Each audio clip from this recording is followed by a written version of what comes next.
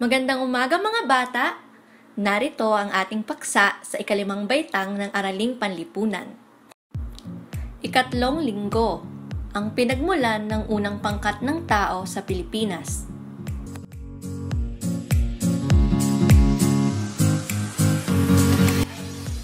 Teorya ng Austronesian Migration Ayon sa arkeologong Australian na si Peter Bellwood, ang mga Austronesian ang ninuno ng mga Filipino.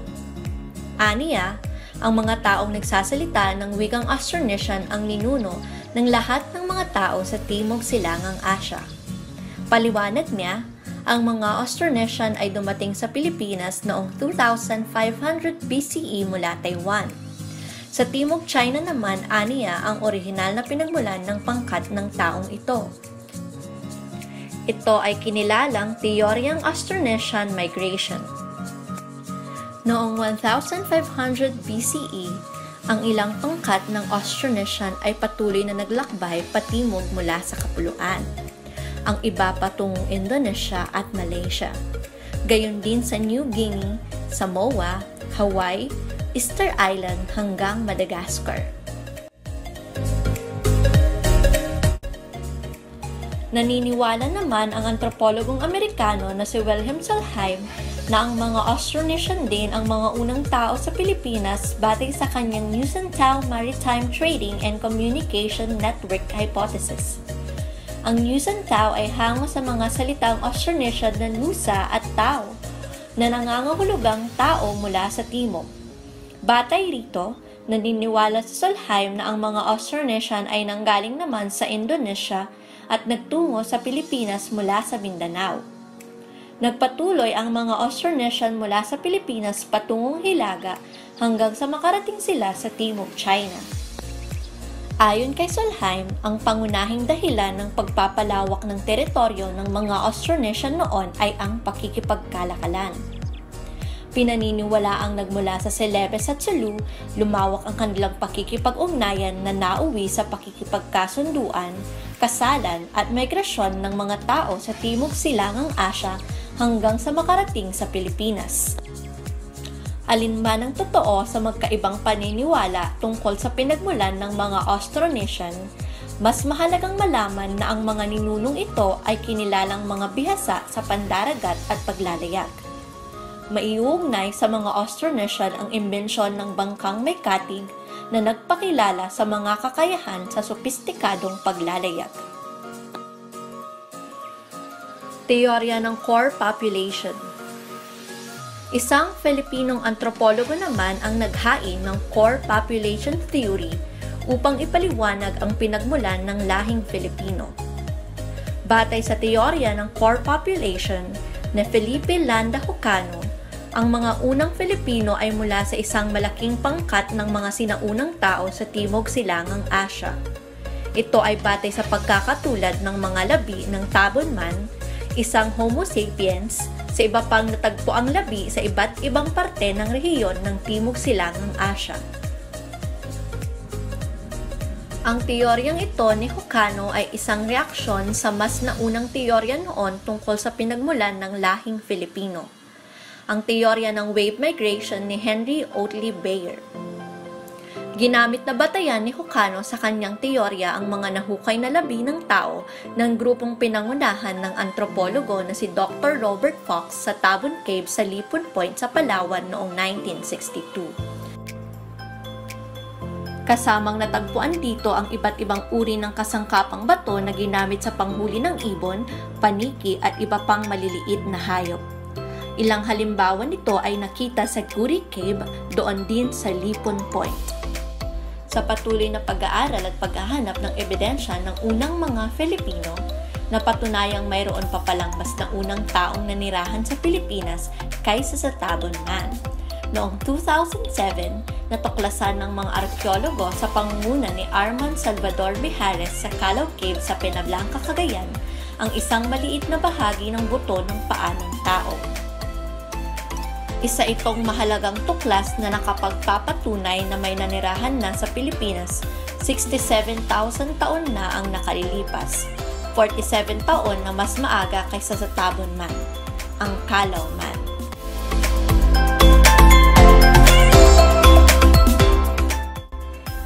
Bago pa ang pagkakaroon ng mga bagong teorya sa pinagmulan ng lahing Filipino, matagal na panahon ding tinanggap sa pag-aaral ng mga unang tao sa Pilipinas ang teorya ng wave migration ni Henry Oatley Bayer. Ayon sa teorya ng wave migration, dumating sa Pilipinas ang pangkat-pangkat ng mga tao mula sa iba't ibang bahagi ng Asya. Batay rito, na unang nakarating sa Pilipinas ang mga negrito na naglakad mula sa Borneo gamit ang tulay na lupa na nagdurugtong noon sa Pilipinas at sa Asia. Sinundan sila ng ikalawang pangkat. Ang mga Indones sakay ng mga bangka mula Timog China at Indo-China. At ang pangatlong pangkat na dumating ay ang mga Malay. Pinabulaanan ng mga antropologo at historiador ang teorya ni Bayer bunsod ng hindi kasapatan ng ebidensyang makapagpapatunay rito.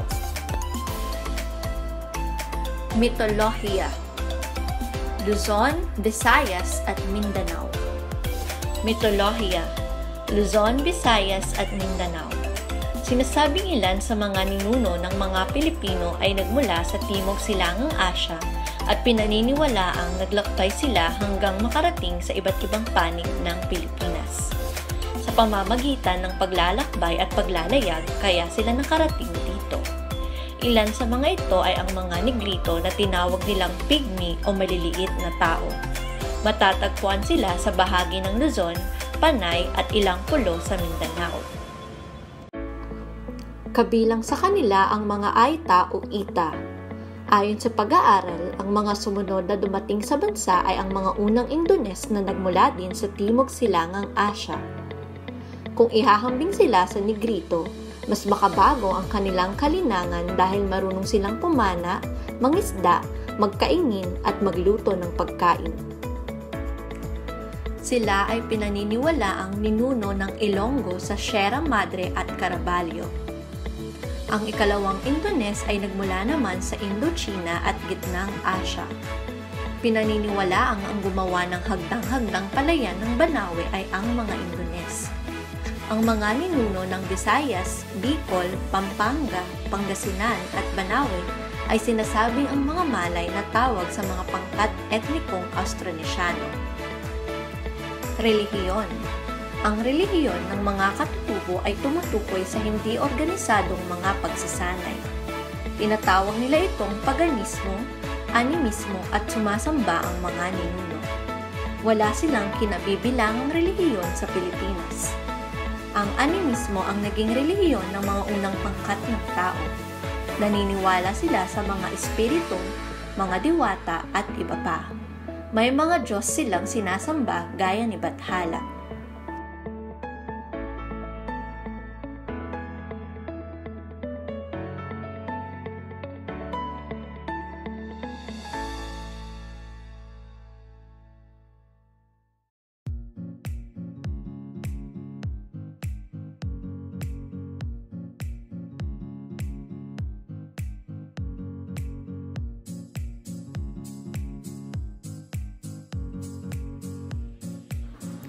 Nagsasanay sila sa pagsamba sa mga anito. Ang anito ay isang diyos na pinaniniwalaan ng mga sinaunang Pilipino. Nagpupugay sila sa mga anito sa pagbibigay ng alay tulad ng mga ani, hayop at iba pa. Ang kanilang paniniwala ay kinabibilangan din ng mga pamahiin, mangkukulam, aswang, duwende at iba pa. Sila ay naniniwala din sa kapangyarihan ng anting-anting upang maligtas sa kapahamakan. Iyan ang ating mga paksa para sa Araling Panlipunan ikalimang baitang. Maraming salamat sa paglalaan ng oras at panonood. Sana ay may natutunan kayo mula rito.